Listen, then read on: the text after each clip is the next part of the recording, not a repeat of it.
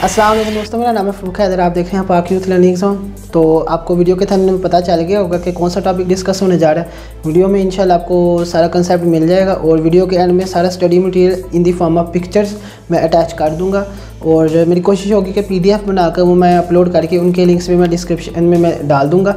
तो आपसे रिक्वेस्ट है कि आप ज़्यादा से ज़्यादा चैनल को सब्सक्राइब करें और बेल आइकन के ऊपर लाजमी क्लिक कर दिया करें ताकि जैसे ही मैं कोई नई वीडियो अपलोड करूँ, उसका आपको नोटिफिकेशन मिल जाए। और अगर वीडियो अच्छी लगे तो उसको लाइक कर दिया करें और शेयर कर दिया करें। कमेंट सेक्शन में मुझे ज़रूर बताएँ आपको वीडियो कैसी लगी है। अगर अच्छी लगी तभी बताएँ, नहीं भी अच्छी लगी तो मुझे बताएँ कि आप, के जहन में अगर कोई सजेशन है तो मैं उसको और ज़्यादा बेहतर बनाऊँगा। तो चलिए लेक्चर का आगाज़ करते हैं।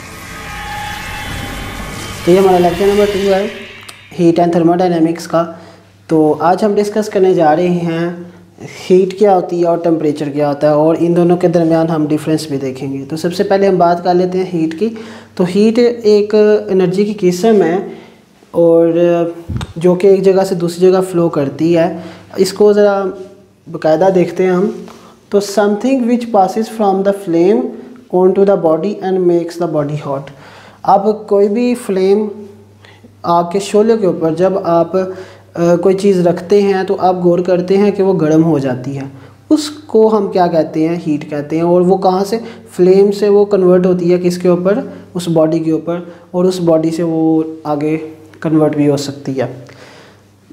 अब हम बात करते हैं टेम्परेचर की। व्हाट इज़ टेम्परेचर टेम्परेचर क्या है? It is the degree of hotness और कोल्डनेस ऑफ़ ए बॉडी ये टेम्परेचर हमें बताता है कि आया एक चीज़ गर्म है या ठंडी।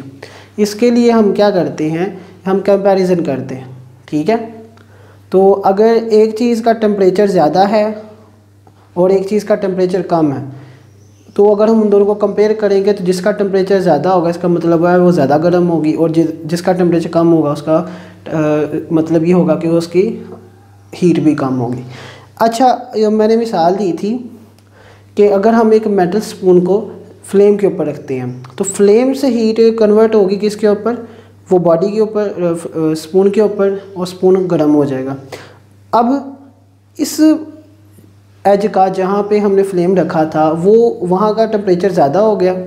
ज़्यादा हो गया, इसका मतलब वहाँ पे हीट क्या है? ज़्यादा। है अब वो हीट जो हमने हाथ में पकड़ा होगा, वो वाली एज उस तरफ़ वो ट्रैवल करेगी ट्रांसफ़र होगी तो उस साइड का टेम्परेचर कम होगा। तो ये यूनिवर्सल रूल है कि हमेशा कोई भी चीज़ फ़्लो होता है फ़्लो हमेशा हाई स्टेट से लो स्टेट पे होता है।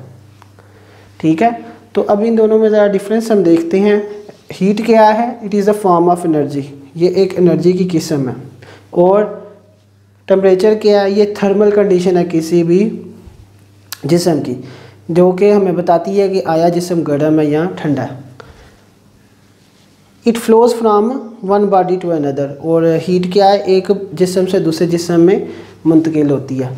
जबकि ये क्या है temperature it is a quantity which indicates whether और नॉट ये हमें बताती है कि आया हीट ट्रैवल या ट्रांसफ़र हुई है या नहीं, और अगर हुई है and in which direction heat will flow अगर ट्रांसफ़र हुई है तो हमें बताएगा कि हीट किस तरफ़ मूव की है या ट्रांसफ़र हुई है, या फ्लो हुई है।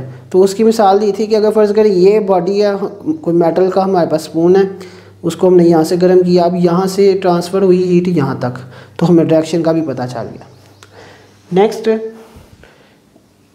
जो हीट होती है it is the total amount of internal energy heat क्या है? किसी भी जिसम की जितनी भी इंटरनल एनर्जी होगी, वो हीट की शक्ल में होगी। और इट इज़ द टेम्परेचर की तरफ़ आते हैं। It is the it is proportional to the kinetic energy of the molecules temperature किसके ऊपर डिपेंड करता है? बॉडी की कैनेटिक एनर्जी पर यानी कोई उसके मालिक्यूल्स की मोशन के ऊपर डिपेंड करता है। नेक्स्ट आ जाता है heat in in the transmission of heat total heat remains the same अब इसमें हमारे पास कंजर्वेशन का ला आता है कि जब भी इसमें हीट होगी ना एनर्जी क्योंकि एनर्जी की किस्म है तो इसमें law of conservation of energy होगी। जितनी हीट इसकी यहाँ पे होगी, उतनी ही हीट ट्रेवल होगी यहाँ तक, ठीक है? आफ्टर और बिफोर प्रोसेस हमारी जो हीट टोटल होगी, वो रिमेन्स वो अनचेंज्ड होगी, वो सेम ही रहेगी, ठीक है?